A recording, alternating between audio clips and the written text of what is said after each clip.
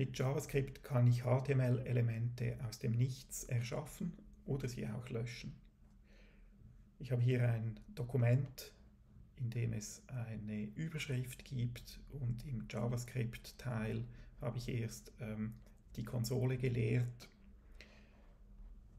Wenn ich im das auf Element untersuchen klicke und den Inspektor öffne, also hier Rechtsklick untersuchen oder Kommando Alt I für den Inspektor, dann sehe ich den Tag Body und darin das Kind davon ist diese Überschrift und dann habe ich noch etwas Code, der vom Live-Server-Plugin aus Visual Studio Code hier in die Seite kommt, damit die immer updatet, wenn ich in, im Code-Editor speichere. Das lässt sich nicht vermeiden, dass hier noch etwas Zeugs drin steht.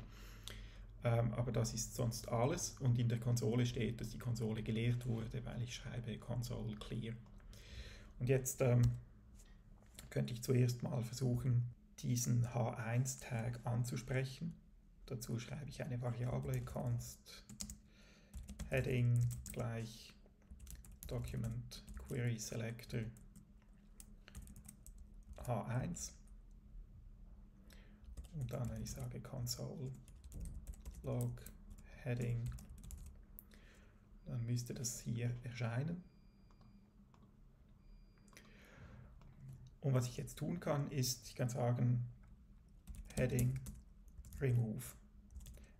Das ist eine Methode, die jedes HTML-Element hat. Und jetzt siehst du, das ist hier verschwunden.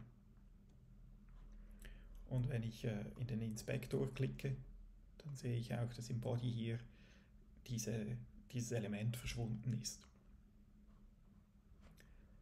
Ich kann auch den ganzen Body löschen ähm, ich kann das direkt in der Konsole schreiben. Ich kann schreiben Document body.remove und jetzt ist das weg. Wenn ich zurück in den Inspektor gehe, dann ist hier nur noch der Head-Tag, aber kein Body-Tag mehr. Das ist natürlich nur temporär. Ich sehe ja hier meinen Code immer noch. Die Datei wurde davon nicht tangiert. Das geht hier nur um das Dokument so wie es im Moment im Browser existiert. Wenn ich das Dokument aus dem Netzwerk neu lade, dann ist es wieder so wie gehabt. Natürlich fehlt immer noch ähm, die Überschrift, weil dieses JavaScript-Programm, das wird natürlich ausgeführt. Wenn ich das wegnehme, dann ist auch die Überschrift wieder da. Also remove das ist eine Methode, um ein Element zu entfernen. Und jetzt umgekehrt, das Herstellen eines Elements, das ist etwas aufwendiger, weil ich es nicht nur erschaffen muss, sondern auch noch sagen muss, wohin im Dokument dass das kommt. Zuerst einmal erschaffe ich das Element. Ich könnte zum Beispiel einen Paragraphen anfertigen und sagen, Zuerst brauche ich eine, eine, Variable, damit ich überhaupt eine Referenz dazu habe. const my new p gleich und um das zu erschaffen, brauche ich eine Methode des Dokumentobjektes, Document create element und dann in Anführungszeichen, wie das heißt, p. Jetzt habe ich in mynewp ein p-Tag, also wenn ich den in die Konsole schreibe. Das kann ich auch hier direkt nachfragen. Mein UP wird erkannt und ich sehe auch schon in der Vorschau hier so einen P-Tag, also den gibt es schon. Aber ich sehe nichts, weil er natürlich keinen Inhalt hat. Aber wenn ich in den Inspektor gehe und nachschaue, dann hat hier unter dem H1 oder innerhalb des Body auch keinen P-Tag. Jetzt kann ich diesem P-Tag auch einen Inhalt geben, mein UP, Innertext gleich Hello World natürlich. Immer noch nichts. Aber wenn ich in der Konsole mein UP suche und nach Innertext frage oder inner HTML, dann sehe ich Hello World. Also das, das Element existiert und es hat auch einen Inhalt. Aber ich muss im Dokument, das ja ähm, das Modell des Dokumentes ist ja ein Baum. Du erinnerst dich an dieses Baumdiagramm, das aus Knoten besteht. Ich muss jetzt noch angeben, an welchen Knoten sich dieses neue Element anfügt oder wo im Baum dieser Zweig jetzt hinkommt. Und dazu sage ich zum Beispiel Document Body Append Child. Also ich füge einem Parent-Element, und das ist hier der Body-Tag, den muss ich nicht zuerst mit Query Selector suchen, Document.body, das ist immer der Body-Tag, dem füge ich einen neuen Zweig an, ein neues Kind kriegt er. Append Child und dann kommt hier diese Variable myNewP hinein. Und jetzt ist es da. Und wenn ich jetzt in den Inspektor gehe und den Body aufklappe, dann sehe ich H1, der Code des Plugins, und tatsächlich steht hier P Hello World.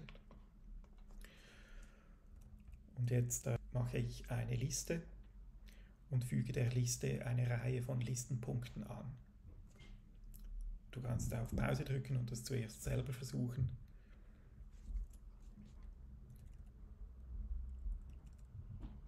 Ich nehme hier den Code, den ich bereits habe und sage my ul. Ich schreibe immer my vorne hin, um zu verdeutlichen, dass das etwas ist, was ich selber erfinde. Kannst dem natürlich sagen, wie du willst und ul, das ist der Tag für die äh, Punktliste. Ich mache ein neues Element, das heißt ul, das ist eine Liste und das hat keinen Inner Text die, die Liste, die ist meistens, die enthält keinen eigenen Inhalt, sondern die hat einfach Kinder, die dann als äh, Punkte, Punktlisten, Items gerendert werden. Das ist dann das, der Li-Tag. Und das heißt nicht mein UP, sondern es heißt myUL. Und jetzt sehe ich hier unten diese ungeordnete Liste. Und Jetzt schreibe ich einen For Loop, um mehrere Punkte zu generieren, mehrere List-Items for let i gleich 0. Und die, diese Iterationsvariable i brauche ich eigentlich nicht. Ich brauche einfach etwas, was mehrmals äh, ausgeführt wird. i kleiner als 10, i. Und jetzt sage ich äh, const myli kann ich da oben copy-pasten. Ändere statt den, den Namen UL auf, auf Li. Füge irgendeinen Inhalt ein. Also ich kann zuerst den Zweig in den DOM integrieren und dann Inhalt einfügen oder ich kann zuerst Inhalt einfügen und es erst dann in, ins Document Object Model hineintun. Das ist nicht so wichtig hier, die Reihenfolge. Sobald ich gesagt habe, Create Element, existiert es und dann kann ich das eine oder das andere damit tun.